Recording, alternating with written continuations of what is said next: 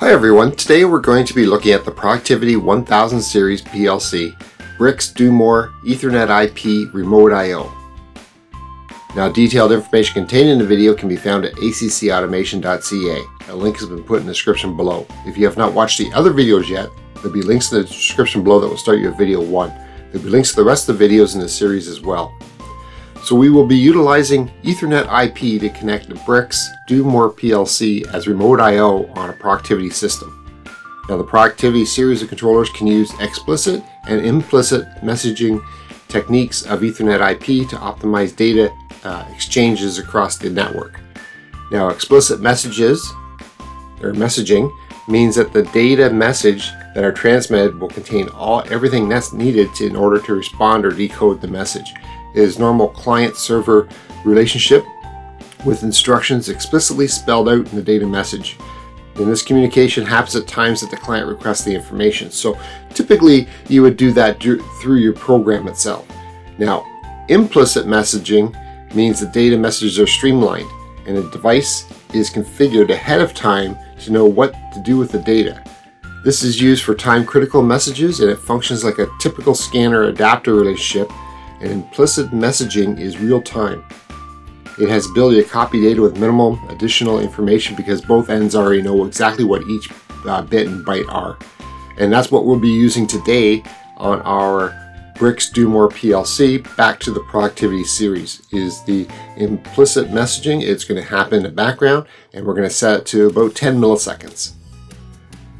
So the first thing we'll do is we're going to call up our Do More designer here and what we'll do is go into the um, system settings.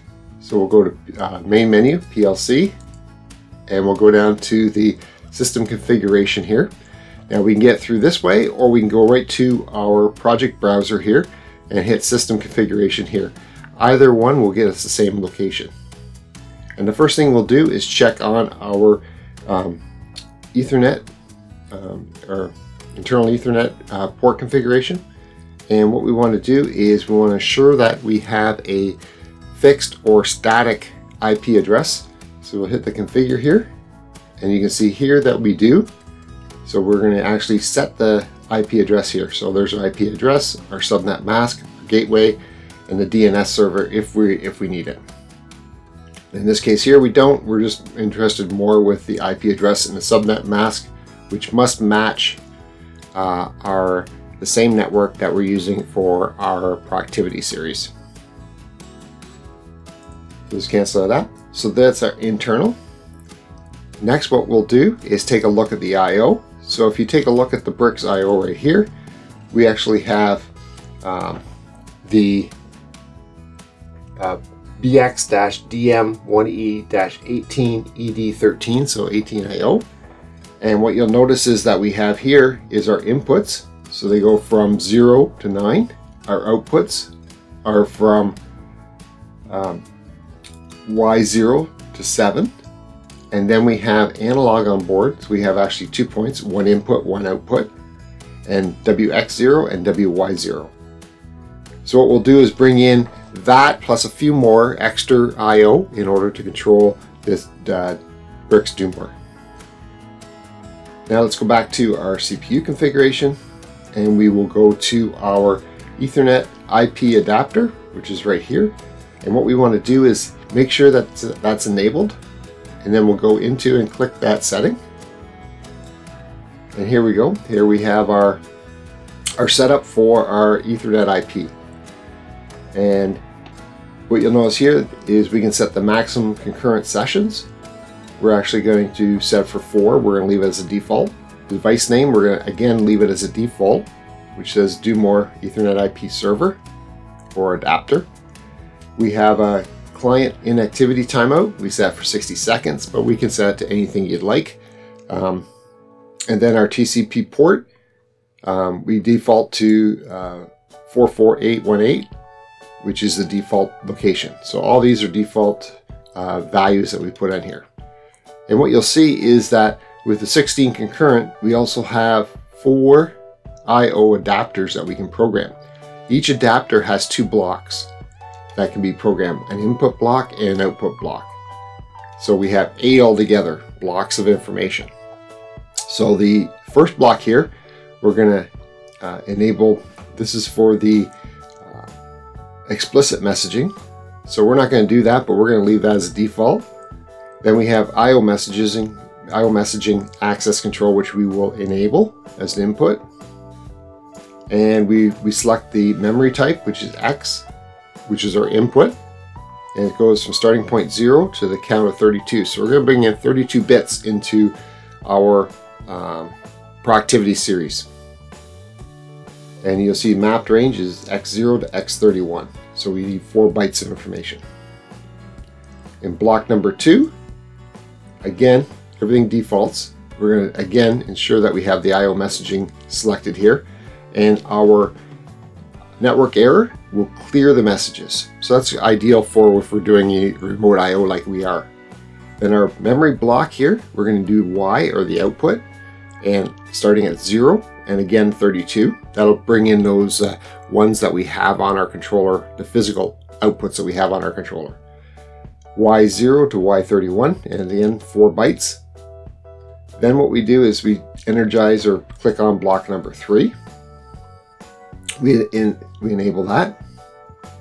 And our memory block starts at WX0, and we're going to put 4 in, even though we have just 1. So it gives us a few extra. So we have 8 bytes of information there. And again, on our output, we make sure that it's cleared, and we have WY, goes 0 to 4. So again, another 8 bytes there. Then also notice that if we look at block number 1, our instant uh, for our explicit, or our, our connection point, I should say, is 101. So block 1 is 101, so that's our input. Our output is 102. Our analog input is 103, and our analog output is 104. So we have to remember the, that um, information. So is it okay?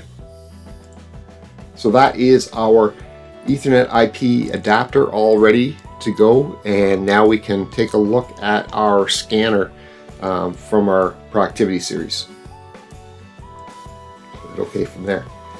Now, one thing before we go though is that you'll notice that in our um, system configuration under your IP settings, the um, under the block here, there is uh, our connection points. Again, we must remember that. So we can either uh, write that down or just re remember that's block 1 101 block 2 102 etc now one thing we should also do is once we um, have that we're going to just put an end statement up here which you see here. And then what we can do is transfer this over to our controller. So write it into our PLC and you can see that we've already done that we're already online with our controller itself the last thing we'll do is take a look at the system information. Again, we, our system information can be found here, or we can go to our PLC and go to system information. And what we can, when we call this up, you'll notice that my key switch, what mode it's in, PLC is in run mode right now. But what I'm interested here is scan times. So my minimum scan time is 326 microseconds. My average is 364, 68 microseconds. And then we have our maximum time, which is 3.1 milliseconds.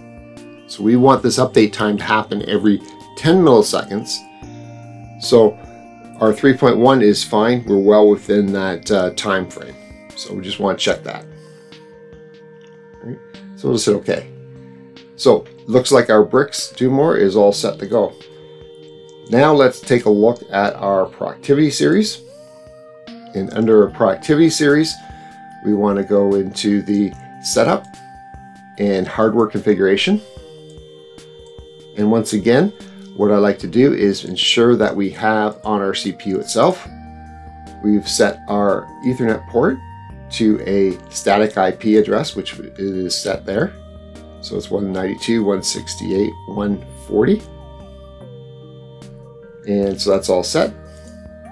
Then if we go into the IP, Ethernet IP, we can now bring in the generic client. We can click and drag that over or double click on that generic client to call this up.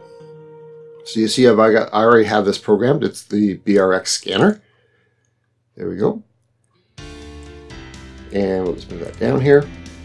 So with the scanner, we use the structure. We called it BX scanner. Our device name was BRX scanner.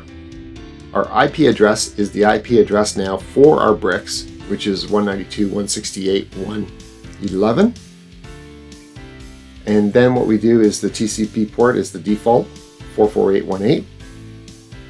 And what we do is select this and we add IO message. What will happen is message number one will then pop up. And we have now three settings here. We have our target to originator, our input. We have our um, originator to target, which is an output, and we have a configuration data. So on the target to originator, it's multitask. The RPI time or the response time uh, that we want is going to be 10 milliseconds. Our assembly or connection point is going to be 101. So then our message we're going to do into a data array called bricks uh, input and we're going to have a 32 bit and it's going to be one element. So that there's our 32 bits x um, 0 to x31 and our bricks will correspond to this 32 bits we have coming in here. We hit the output and again we set our, our update time of 10 milliseconds. We have 102 as our connection uh, point and we set our bricks output again 32 bits so one element then what we do is again we click this button we add another IO uh, message and we can now put our analog onto this scanner so our target to originator or input will be our bricks analog input and we're going to put four elements. Each element is going to be a 16-bit um, register, which gives us a total of eight bytes. So we have to again make sure that you match both ends up to know exactly how many bytes we have, or it will cause errors. Then we have our originator to target or our output. 10 milliseconds again. 104 is our connection point. Then we have our bricks analog output and number of elements again is 4. Total bytes is 8. And then in our configuration, we ensure that we have this disabled for both the message number 2 and message number 1. Okay. So that's it for setting up our um, Ethernet IP scanner on our Productivity series controllers. Okay, we'll just uh, hit OK on that because we really didn't change anything. And we can then close that down. And if we, and right now what we're going to do is set up our, our I.O. here. And the first thing we'll do is we will, um, oh, one thing I did forget is if we go back to the setup hardware and look at our scanner, what we can do is hit this monitor button down here. When we hit the monitor button, it'll actually allow us to append or add uh, the Ethernet IP scanner into our data view so that we can monitor the I.O. So once we have that, we'll close that down. So we'll let's just check the. Uh, uh, first of all, let's check the uh, scan time. CPU, get CPU scan time and you see our average scan time right now is 1.1 milliseconds. So we're well within that 10 millisecond time frame that we're looking for for the Ethernet IP update time to the remote I/O. So so far we're we're good. All right, so now let's take a look at the program itself. And under the program, what we do is we enable the BRX scanner message one and message number two. So those uh, two messages to be enabled so that we automatically will do that. Then what we do is take the first bricks input and we set the first output with it. And then we take the simulator card on our uh, Productivity series and we turn on the corresponding output. So that's our entire program. We then download that to our productivity series. So let's take a look at the hardware that we have here. So here we go. There's our productivity P1 540 with our Ethernet port. And then we have our bricks BX-DM1E 18ED13. And you can see here that we have our input uh, zero uh, connected to our um, capacitive type proximity sensor, CK1. And what you'll notice is that when this input comes on, this is the X that we've mapped, and there's our output comes on. So that's exactly what our program is doing up here on our screen. So you see here, if it's off, then the output is off. If we go on, the output's on. So again, this is happening every 10 milliseconds. So uh, we're talking 100 times a second that we're actually updating our I.O. independent of really any logic in our bricks itself. So very quick and very easy to implement this uh, type of protocol. And the next what we have is we have our switches here. So if we were to turn on our first switch, the first output uh, then comes on from the, the bricks. And we can go two, three, and four. And you can see that is quite quick in terms of the response time. Turn that one off and it turns off. So if you enjoyed this video, please hit the like button below. If you have any questions about the video, please leave a comment below and I'll do my best to answer it. If you want more information about us or you want our free ebooks on numbering systems or robust data logging, please click on the link in the description below to get it. A new video is put out every Monday, so make sure you hit the subscribe button so you get more videos like this in the future. Remember to click the bell beside your subscription to actually receive those notifications. Thanks so much for watching. I'll see you next time. Stay safe.